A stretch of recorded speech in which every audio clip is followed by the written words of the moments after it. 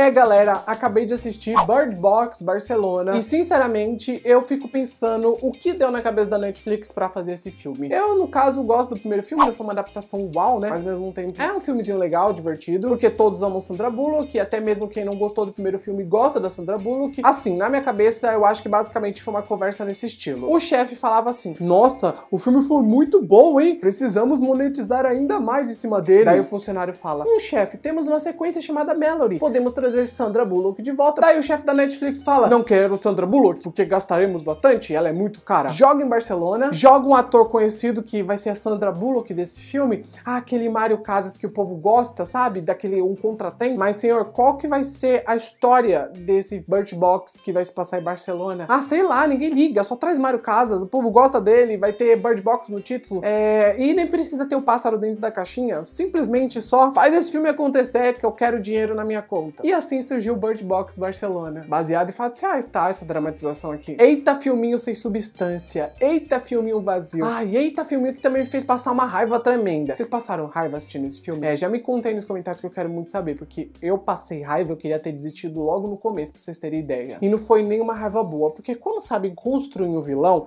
a gente olha pro todo e fala, nossa, esse vilão tá sendo bem construído, ou esse anti-herói tá sendo bem construído. Eu vi o personagem do Mario Casa só como vilão, tá? Mas quando a narrativa é bem construída para te entregar o propósito daquele acontecimento, do porquê o personagem tá matando as pessoas, a gente até chega a um ponto de tentar entender um pouquinho melhor o que tá se passando na cabeça desse personagem. Mas aqui o filme constrói tão mal tudo isso, toda a backstory desse vilão, que a gente odeia ele, a gente detesta ele. Quando a gente tem a resolução do porquê ele tá fazendo o que ele tá fazendo, a gente tá cagando. Eu, pelo menos, tô falando por mim, tá? Se você tem uma opinião diferente, tá tudo bem, até coloca nos comentários. Mas, gente, passei muita raiva, fiquei com ódio desse personagem. E no vídeo de hoje eu não consigo recomendar esse filme para vocês. Não consigo. Não acho ele de todo ruim. Acho ele muito engraçado, como uma comédia ele funciona bem. Eu achei mais uma comédia do que um filme de terror, de suspense. Não consigo encarar isso, porque é tanta cena burra, tanto personagem fazendo idiotice, que para mim virou uma comédia. Então eu quero falar sobre Bird Box Barcelona com spoilers. É, vou contar tudo o que acontece no filme, então já fica avisado. Não vou recomendar ele porque não gostei. Sei que vai ter gente que vai gostar, que vai achar legal, mas isso não é Bird Box de forma alguma. Simplesmente colocar o título do primeiro filme aqui pra monetizar e jogar Mario Casas e não é Bird Box isso. Ai, mas pegou coisas de Mallory. Ai, mas adaptou alguns arcos de Mallory. Horrível, que adaptação podre. Foi uma coisa ou outra, foi tipo uma passagem ou outra do livro. Nossa, Bird Box Barcelona comparado ao primeiro Bird Box, a gente até olha para aquele primeiro e fala, nossa, que obra-prima. Porque esse daqui foi detestável. Desculpa, gente, eu não gostei. E eu já deixo claro isso daqui no começo, porque eu vou falar tudo de errado que rolou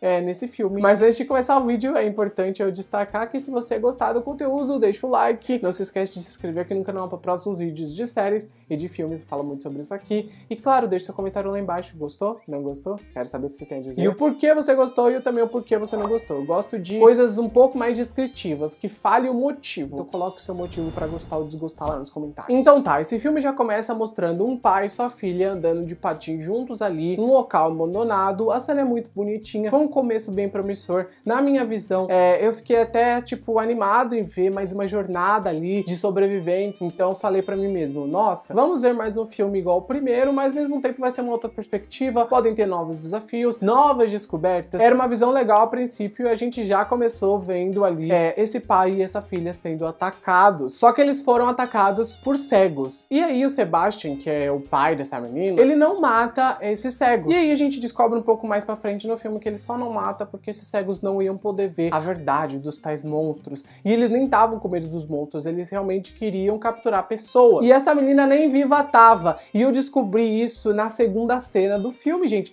Não foi difícil de descobrir. Foi uma reviravolta tão previsível, gente, tão previsível, que na cena seguinte a isso eu já falei, opa, tô sentindo uma reviravolta chegando. Tanto que o Sebastian encontra alguns sobreviventes andando na rua. Ele manda essa tal filha dele se esconder. Ele entra ali numa garagem de ônibus onde esses sobreviventes estão sobrevivendo, né? Criaram ali um local, um abrigo seguro. E enquanto ele tá comendo à noite, olhando pro cara que cortou os olhos, eu falei para mim mesmo: Nossa, ele tá comendo super de boas enquanto a filha dele tá do lado de fora. Tem alguma coisa aí. E realmente, gente, eu falei pra pessoa que tava do meu lado assistindo comigo assim: Quer ver que a filha dele tá morta? Ele tá vendo só uma alucinação? E era isso mesmo. Então essa reviravolta não me pegou de maneira alguma. Só que assim, a próxima reviravolta que foi quando tudo anoiteceu e ele entrou dentro do ônibus, sequestrou o ônibus com várias pessoas e ficou correndo ali com o ônibus tentando sair daquele local, daquela garagem paragem de ônibus para fazer as pessoas olharem pro tal monstro que mataria elas, ou que faria elas se matarem. E essa cena do ônibus foi um horror, gente. Não teve tensão, não teve emoção, não teve absolutamente nada. A cena até que foi bem dirigida por um certo ponto, sabe? É, a forma com que o ônibus foi correndo, bateu no outro, no outro, no outro. Enfim, teve ali uma construção do cenário para tornar a cena um pouco mais frenética, mas a emoção que a cena deveria passar, ela não passou. E o Sebastian faz ali as pessoas que estavam dentro desse ônibus olharem para a criatura, uma pessoa corta o pescoço com vidro, outra pessoa ali é, coloca a cabeça na roda do ônibus, a outra pessoa se taca fogo e faz explodir o ônibus inteiro com os outros sobreviventes que estavam lá dentro. E o Sebastian vê a alma saindo do corpo dessas pessoas que se matam, e ele é uma das pessoas que conseguem olhar para os tais monstros e ele não morre, ele não se mata. Só que ele é meio doido, porque ele vê umas almas saindo do corpo, como se o anjo estivesse capturando a alma das pessoas. Coisa que não faz sentido algum, sinceramente. E aí o filme começa a intercalar o passado com o presente, o passado com o presente, o passado com o presente. É uma cena aqui, uma cena ali, uma cena aqui, uma cena ali. A montagem é muito mal feita. O ritmo do filme se torna muito desigual. A cena do metrô poderia ser muito boa, aquela cena lá que é, as pessoas começam a se matar, né? Ele tá ali na empresa dele de energia eólica, ele sai correndo para buscar a filha na escola, só que aí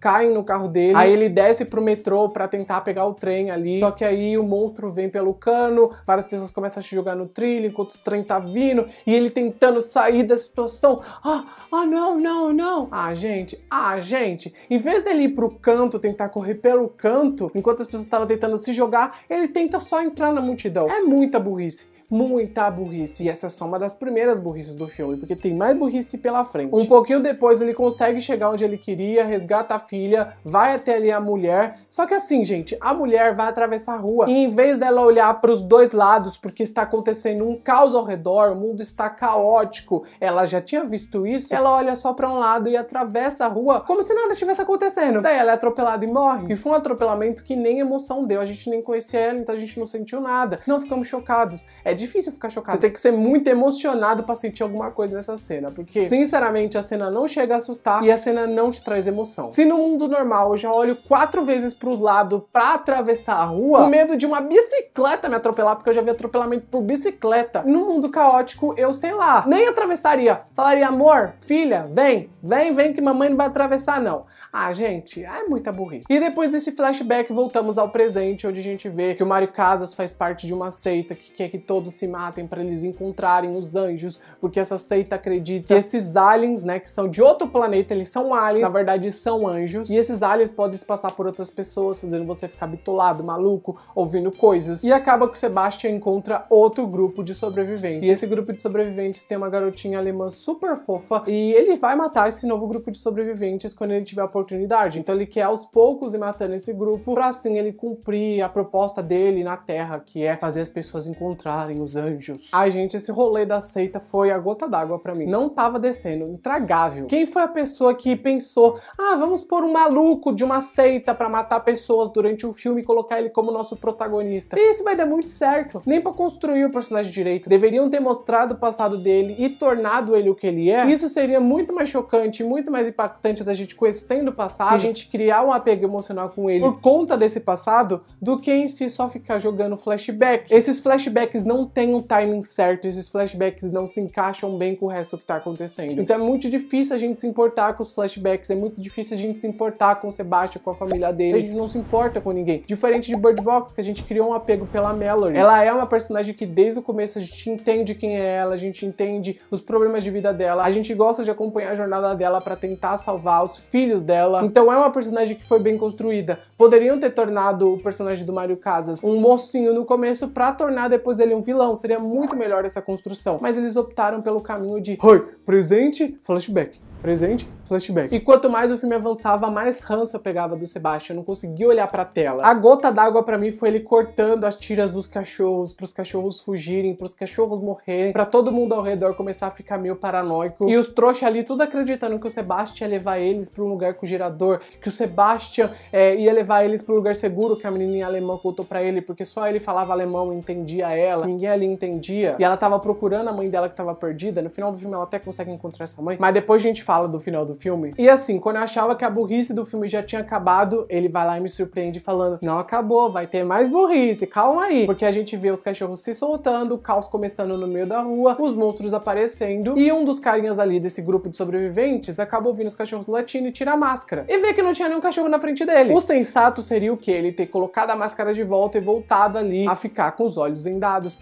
Mas não, ele vê que as folhas estão subindo, as folhas estão levitando, coisa que acontece quando os monstros estão aparecendo. E ele olha para trás. Se isso não é pedir para morrer, o que seria pedir para morrer? Porque, gente, é muita burrice. Não me desce o roteiro do filme, não me desce as ações dos personagens, porque qualquer pessoa com cérebro que já tá sobrevivendo há muito tempo não faria uma burrice como essa. E o Sebastian fez os cachorros serem mortos, então eu só via minha mão na cara dele, eu queria socar ele, eu queria acabar com ele, porque mexeu com o cachorro, mexeu comigo. Nossa, gente, eu tava com uma raiva descomunal desse personagem. Descomunal. Aí tá bom, esse grupo aí de sobreviventes consegue mais um local para ficarem ali um tempinho, né? Pro carinha velho se recuperar. Ele foi mordido pelo cachorro. Quando o cachorro acabou vendo o monstro lá, então ele foi mordido, tava sangrando, blá blá blá. Eles precisavam de um tempo para parar. Encontraram o local. O Sebastian e o Otávio e companhia foram revistar esse local para ver se estava tudo fechado, para eles ficarem ali um momento tranquilo. Só que o Sebastian enrola o Otávio. Aí vocês me perguntam, mas assim, Matheus, como o Sebastian enrola o Otávio? Fumará pro bem pensada? Foi alguma coisa mirabolante? Não, foi uma janela aberta. Aí vocês me falam, mas Mateus, uma janela aberta, o vento não estaria batendo forte, igual a gente vê nessa imagem, o vento batendo super forte porque eles estão no local alto? É, gente, tava batendo ventão super forte, mas mesmo assim, o Otávio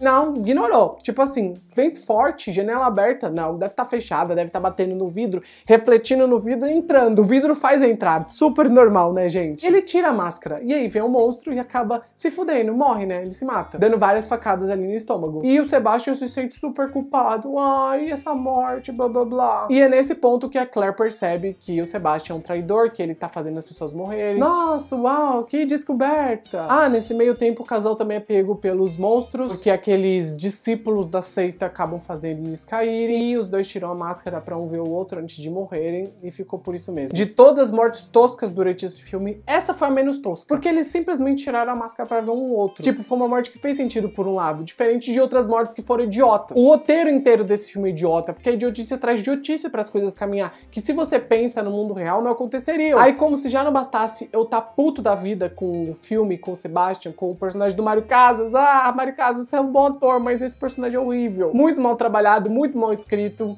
Ai, que vilão podre. O filme tenta dar uma redenção para ele, tá? Nesse final, para falar, pobrezinho, ele só se tornou o que ele se tornou por conta das advertências da vida. Ai, a vida é muito difícil. Nós vemos o flashback dessa filha aí do Sebastian olhando pro monstro, graças a Seita, que fez ela se matar, é, olhando pro monstro, né? Então ela se jogou ali do prédio. E, consequentemente, o Sebastian olhou pro monstro para salvar a filha dele, acabou ali se conectando com o monstro. Esse monstro era um anjo, que a filha dele tava ali presente ainda com ele, numa imagem feita pela própria cabeça dele. A filha não existia, o conceito inteiro desse filme é surreal, não faz sentido algum. E a representação dessa menina foi tão cuzona o filme inteiro, foi tão FDP o filme inteiro, que é difícil a gente simpatizar com a morte dela, tipo, sentir algo na morte dela. Como eu disse, o filme é tão mal construído que é difícil a gente sentir qualquer coisa aqui. Não é um filme que faz a gente ter emoção, como o primeiro faz a gente sentir. É um filme que gera raiva, gera indignação, gera desconforto. E não é proposital. Eu sinto que não é proposital porque as cenas, a forma com que as cenas são construídas, a trilha sonora da cena, a emoção do ator era para ser uma cena muito impactante para nós do público, mas não acaba tendo esse efeito com a gente. Como eu disse, só pessoas realmente emocionadas vão sentir algo. E para completar toda essa merda que a gente já tava vendo até esse ponto, é, a gente vê o líder da seita, porque tinha que ser um velho. E tinha que ser um velho com um carimbo de seita na mão para mostrar que ele era o líder, que ele era o fodão ali da seita. Ai, é isso aí. Ai, gente, que pataquada. E quando o Sebastian fala, eu tenho que enfrentar eles para que eles não subam, já que elas estavam ali subindo no teleférico para conseguir ir até aquele castelo que era seguro, que a menina alemã falou que a mãe dela foi, e elas acabaram se perdendo, e eles precisavam ir para esse local seguro, enfim. Aí o Sebastian fica todo, ai, minha redenção agora, porque agora eu vou ser do bem. Fez um monte de cagada, matou 300 mil pessoas, mas queria se redimir e salvar duas. Oh, pobrezinho, gente, que redenção. E para me redimir ainda mais, eu vou lutar com esse vilão horrendo aqui, que é o líder da seita, eu vou destruir ele. Ai, mas minha filha fantasma vai aparecer, vai subir num carro em chamas e começar a pegar chamas na minha cabeça. O que isso representa, ninguém sabe. O porquê que ele realmente começou a ficar doido, ninguém sabe. Ai, trauma. Ah, gente, não engulam isso, tá? Dessa resolução de ai, foi um trauma. Vamos deixar no ninguém sabe que é menos feio. Daí começa a lutar o líder da seita com o Sebastian. Os dois começam ali a ficar perto do carro em chamas. O Sebastian enfia aquele troço de sustentação de obra dentro da filha, depois a filha se transforma no próprio líder da seita. É, ele coloca esse líder ali meio que grudado com o carro em chamas e ele não pega fogo, ele não pega fogo. O carro está em chamas e ele não pega fogo. Ah, nem o cabelo pega fogo. Nada acontece, simplesmente fogo. Ah, nessa realidade ele não queima, gente. Calma aí. Enquanto isso, a Claire tá subindo ali para pegar o teleférico e aí um degrau da escada acaba quebrando e ela acaba segurando a Ana com uma mão só. Nossa, muito guerreira. Aí você olha pro braço dela, nem força ela tá fazendo. Gente, o amadorismo nesse filme tava num nível absurdo, porque nem força ela tava fazendo, ela simplesmente puxou a garota como se fosse uma coisa normal. Como se ela tivesse força. Você acha que ela tem cara que fazia crossfit? Ela não fazia crossfit. Daí a Claire chega ao topo do teleférico, tenta ligar ele para eles irem lá pro castelo no final, só que assim, tá sem energia. E ela tem que chamar o monstro para fazer a energia funcionar, pro teleférico funcionar. Então ela chama o monstro para aquele local, o teleférico começa a girar. Lá embaixo, o Mario Casas e o líder do culto estão lutando, um enfiando a estaca no outro. Isso ficou bem estranho de ser falado, mas um enfiando a estaca no outro. E o Mario Casas sofrendo, tava doendo nele, mas tava doendo no outro também. E ficou mais estranho ainda. E ele continuou enfiando nesse cara da seita. E no final das contas, esses dois bosta morrem. Graças ao bom Deus, Deus é bom. Deus é muito bom. Deus é justo. Tanto que eu até fiquei me perguntando o filme inteiro, mas nossa, acredita tanto que seja um anjo, acredita tanto em Deus, mas parece que não leu a Bíblia, que não pode se suicidar, que não vai pro céu quem se suicida. Então a alminha nem deveria sair do corpo. Ai, cara, você é um falso pagão, hein? Você é um falso crente religioso, sei lá. Esse rolê do fanatismo religioso, nossa é complicado nesse filme, gente. Complicadíssimo. E o filme acaba com a Claire e a Ana conseguindo entrar no teleférico. Elas chegam lá na base de cima e tem um povo do governo, de exército, enfim, pesquisadores trabalhando em uma possível cura. Nós descobrimos nessa base rapidamente que essas pessoas crentes aí, doidas, são chamadas de videntes por esses pesquisadores. E o DNA deles foi alterado depois de um grande trauma que eles tiveram. E eu só fiquei me perguntando, puta que pariu, o mundo inteiro teve trauma. E o trauma fez as pessoas ficarem bitoladas e malucas e muda o DNA delas, sendo que o mundo inteiro deveria estar tá mudando o DNA. Porque muita gente perdeu gente importante, gente que valia a pena e não se tornou maluco, não se tornou um degenerado. Ah, explicação merda. Ai, ai, ai. E eu até fico me perguntando, como criar esse local seguro em Barcelona? Quem foi a primeira pessoa que pensou nesse local? Para construir esse local, ninguém morreu? Porque tem um monte de gente viva ali, aparentemente. E como esse local era equipado com um monte de coisa de genética, equipado com portas ali para trancar, um aparente monstro que tem dentro de alguma sala ali, um vidente paciente tá ali preso na cadeira e tá usando o sangue dele para também tentar as tetes dessa cura e ele queria ver o monstro porque ele acredita que esse monstro seja o grandioso monstro ali que vai salvar todos. Uma loucura, gente. Até agora eu tô pensando como conseguiram construir uma porta compensada, como conseguiram capturar o um monstro. Isso vai ficar para um terceiro filme que sinceramente eu fiquei até sem vontade de ver. Eu sei que Mallory vai ser produzido pela Netflix, tô empolgado em ver Sandra Bullock de volta, mas se fizerem um terceiro filme focado nesse povinho aí desse Barcelona, ah, eu passo. Vocês devem ter percebido a minha insatisfação com esse filme, né? Mas me contem o que vocês acharam. Concordam com o que eu disse? Não concordam? Na minha visão, nada nesse filme se salva, nem fotografia, nem ambientação, nem atuação mesmo, porque os personagens às vezes eram vazios demais. É, os atores pareciam que não se conectavam com seus personagens. Acho que a melhor forma de assistir Bird Box Barcelona é de olhos fechados. Ou nem assistir, né? Mas era assistir para falar, me conta aí a sua opinião. É, clica no like que é muito importante, se inscreve aqui no canal para próximos conteúdos de séries e de filmes. grande beijo para todos e tchau.